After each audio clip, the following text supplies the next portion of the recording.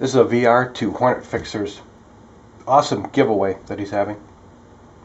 I did want to say first that the uh, video I liked the best was his The Downfall Part 3.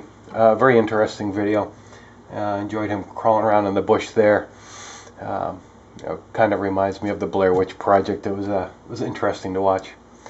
Um, and my shout out would be to the Yankee Marshal. Uh, extremely funny videos. He's always putting something out.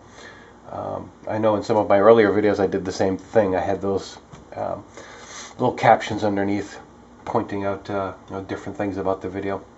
I just find them really funny. Um, and oh, I wanted to make sure I needed to put down in the VR. I was looking for the grand prize and the pistol prize. I don't own a, an AK or an AR.